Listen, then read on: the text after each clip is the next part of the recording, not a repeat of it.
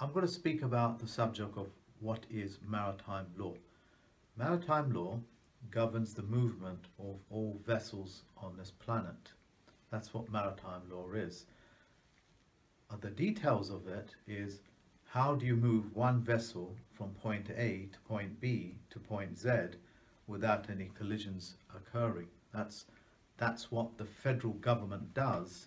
It controls maritime law and that is the safe movement of vessels. Now, under maritime law, letters are vessels, therefore it comes under maritime law. Your roads are inland waterways, so that's maritime law.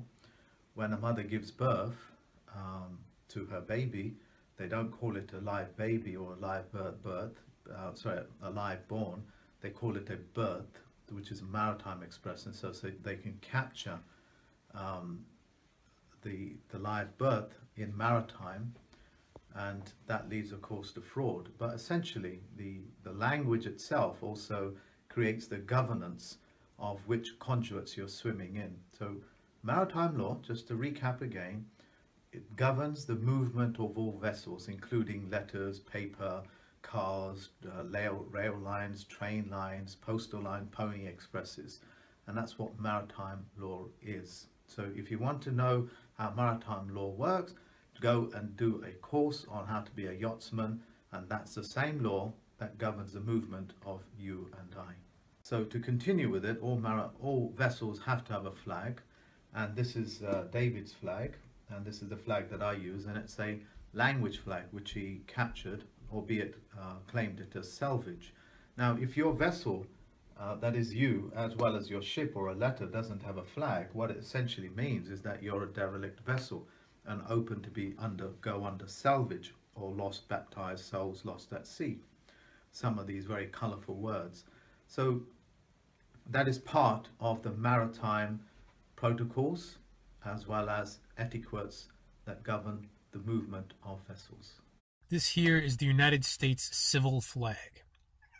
The old stars and stripes, the flag everybody knows, uh, is the military flag. This is the civil flag, the peacetime flag, uh, the flag that should appear everywhere that isn't a military installation. But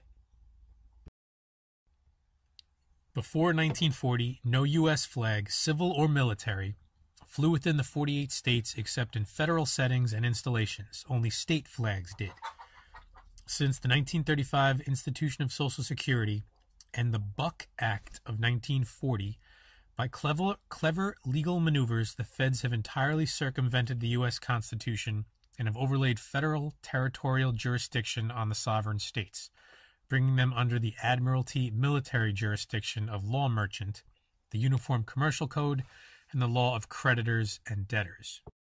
Since then, so since 1940, the U.S. military flag appears besides or in place of the state flags in nearly all locations within the states. All of the state courts and even the municipal ones now openly display it. In the last half century, they have more openly declared the military admiralty law jurisdiction, with the addition of the gold fringe on the flag, the military flag of the Commander in Chief of the Armed Forces. Such has been the path that has brought us under the law of the military flag. This should have raised serious questions for many citizens long ago, but we've been educated to listen and believe what we are told, not to ask questions or to think for ourselves and search for the truth.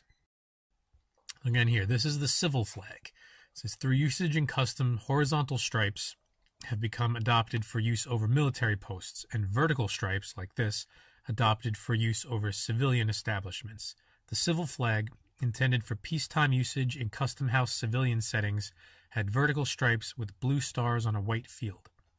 By the law of the flag, this design denoted civil jurisdiction under the Constitution and common law, as opposed to military jurisdiction under admiralty military law, which, Old Glory, that's what that is.